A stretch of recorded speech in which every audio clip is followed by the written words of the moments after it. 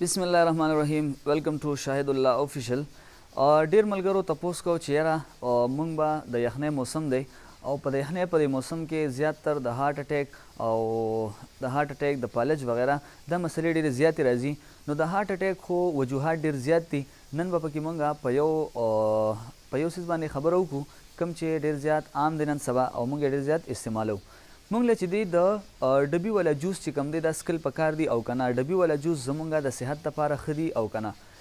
نو سو باتو کې ايک بات ډبي ولا جوس چې کوم دې بلکل هم سکل نه دي په کار ځکه چې دا ډبي ولا جوس چې په کوم ميتډ باندې تياريږي نو هغه ميتډ چې دې هغه کې بلکل په دې کې چې دننه کوم مونږ سره نيوټرينټس وغيره دي نو هغه په کې مکمل ډيستروي شي. څنګه چی موږ له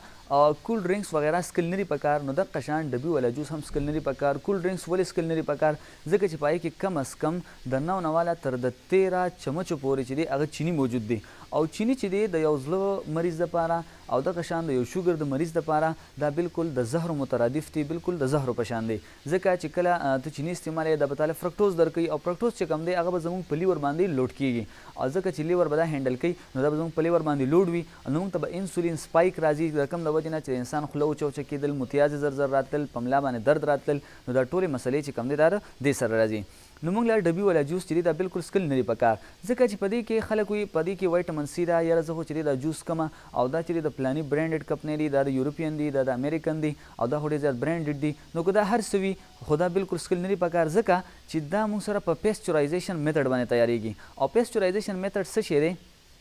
دا هغه میتود دی کله چی دا موږ سره په انډسټری کی تیاریږی نو څه چل وشی دی له چی دی های ټمپریچر ورکی حد درجی دی تر ټمپریچر سیوا کی نو د هغی د وجی نه په ده کی چی دننه کوم نیوټرینټس دی یعنی وایټمن سی دا وایټمن سی هغه یو واټر سولیبل ویټمن دی او واټر سولیبل ویټمنس چی کوم دی نو دا هیټ سینسیټیو دی نو کله چی ده ته های ټمپریچر ورکړی شی نو په ده کی هغه چی کوم وایټمن سی دی هغه پکی مکمل ډیسټروی شی نو ددی وجی نه چی کوم وایټمن سی وی هغه مکمل ډیسټروی وی. دا چې دی تاته بلکل هیڅ فایده نه درکوي او الټا چې کله فیسچورایزیشن وشي د هغې نه پس د دې په فلیور کې چې دی هغه موږ سره کمی راشي نو دوی پکې بیا ارټیفیشل فلیورز ور واچوي او دغه ارټیفیشل فلیور څه شی دی هغه چې دی بیا په دې کې دوی شوګر او دغه شیان چیني ایډ کوي کوم چې زموږ د صحت لپاره بلکل زهر دي. کوم عام د وایټامن سي سپلیمنټس، ټیبلیټ، کیپسول وغیره چې کوم موږ سره په مارکیټ کې ملاویږي نو بیسیکلي د وایټامن سي موږ سره پایپ فارټس دي او کوم چې دا موږ ته په ایز ا سپلیمنټ ملاویږي نو هغه څه شي دي هغه اسکاربیډ اسیډ دي او بیا چې دي نو په هغې کې موږ سره یو بل پکې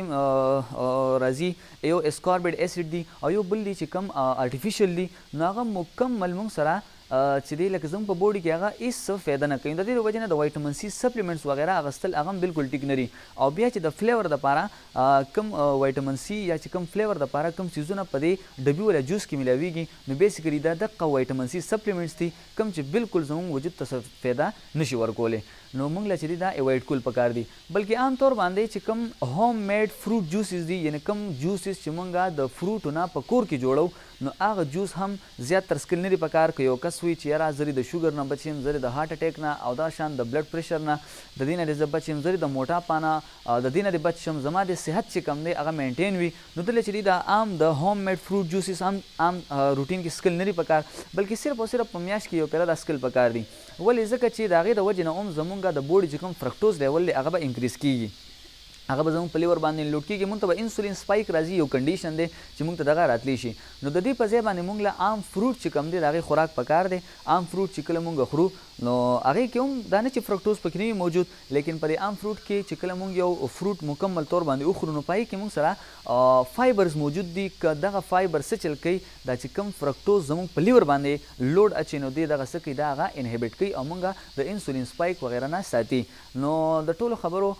خلاصه دا ده چې ډبي والا جوس هم څکل نه دي پکار، عام فروټ جوسز چې کوم دي هم نه دي څکل پکار بلکې